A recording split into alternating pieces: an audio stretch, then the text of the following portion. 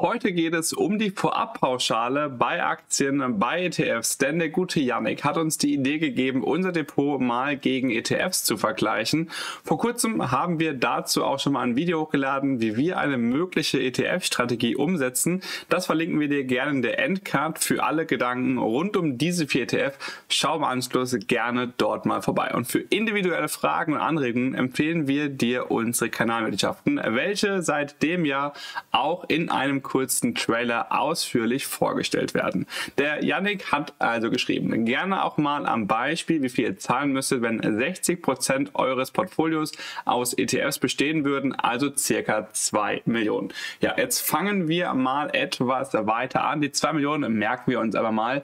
Die ETFs, die wir zum Beispiel aufgrund von Cashflow und Dividendeninvestment bevorzugen würden, ist auch in dem erwähnten Video hinterlegt, wäre einmal der Global Quality Dividend Growth. Der Global Quality Dividend Growth setzt dabei auf verschiedene Länder, verschiedene Regionen. Er ist ein bisschen ähnlich aufgestellt wie zum Beispiel ein MSCI World, Allerdings hier natürlich, wir haben Aktien dabei, die Dividenden ausschütten. So sehen wir zum Beispiel auch, dass Position 5, 6 und 7 eine Procter Gamble ist, eine Coca-Cola, eine Roche oder auch ganz unten eine LVMH, die einen verhältnismäßig kleinen Teil an Dividenden ausschüttet. So kommt der ETF auch insgesamt zwar nur auf eine Dividendenrendite von 1,8 Prozent, ist aber soweit erstmal in Ordnung, denn hier ist der Fokus ja auf Dividendenwachstum. Die Frage vom Yannick, wie viel Vorabpauschale wir denn zahlen müssten, wenn wir 2 Millionen in einem solchen ETF als Beispiel hätten. Wir haben gleich nochmal einen anderen ETF mitgebracht, aber das schauen wir uns zunächst mal an. Hier haben wir euch die Seite mitgebracht von Finanzfluss, ist eine sehr, sehr gute Seite, wenn ihr euer Wissen aufbauen wollt. Ebenfalls gibt es hier viele verschiedene Rechner, angefangen von Steuerthemen über Thank-You-Diagramme Programme und Co. Schaut hier auch sehr, sehr gerne mal vorbei. Das lohnt sich. Gut, füllen wir die Tabelle einmal aus. Der Fondswert in Euro Anfang des Jahres. Nehmen wir hier diese 2 Millionen Euro rein. Fondswert am Ende des Jahres. Das ist immer etwas schwierig zu berechnen. Wenn wir das in die Zukunft machen, dann nehmen wir hier einfach mal die 7% an. Das wären dann 140.000 Euro on top. Wenn wir jetzt hier die aktuelle Dividendenrendite von 1,814% nehmen würden, kommen wir hier ungefähr auf Ausschüttungen in Höhe von ja, 36.000 Euro. Wir haben einen Fonds mit über 51% Aktienquote. Ja, der Berechnung ist jetzt hier 2023, ist leider etwas unglücklich, aber der Zinssatz für das Jahr 2024 steht noch nicht fest. Dementsprechend äh, nehmen wir hier mal die 2,55%. Hier jetzt die Berechnungen. Der Basisertrag ist nur der Fondswert zum Jahresbeginn mal Basiszins. Hier kommen wir auf 35.700 Euro. Die Wertsteigerung der Voranteile, die haben wir eben selbst ja, mit angegeben. Hier durchschnittlich mal 7%. Kann natürlich weniger sein, es kann mehr sein, aber irgendwo müssen wir hier mal Mittel anlegen. Da erscheinen uns 7% ganz gut. Vorabpauschale 0 Euro. Warum? Wir haben hier ein ETF, der ausschüttend ist. Bei Dividendenaktien und bei Ausschüttern fällt diese Vorabpauschale in der Regel nicht an, wenn die Erträge hier über dem entsprechenden Basiszins liegen. So ist es auch bei uns. Wir setzen ja auf Cashflow. Dementsprechend, egal was wir hier machen würden. Wir hatten uns auch mal noch einen World ETF rausgesucht, der eine Dividende von 1,6% hat. Das Ganze würde sich nicht groß ändern. Wir würden hier bleiben bei dem Szenario. Spielen wir aber mal mit Ausschüttungen als Beispiel von 0 Euro, wie sich das Ganze dann verhalten würde.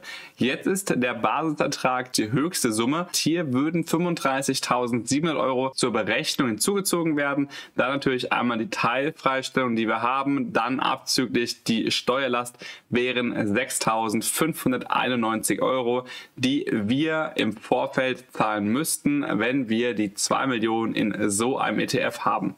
Eine Mischkonstellation. Nehmen wir mal an, wir haben einen ETF mit Ausschüttungen, eine Dividendenrendite von ungefähr 1%, dann müssten wir bei Ausschüttungen grob bei 20.000 Euro liegen.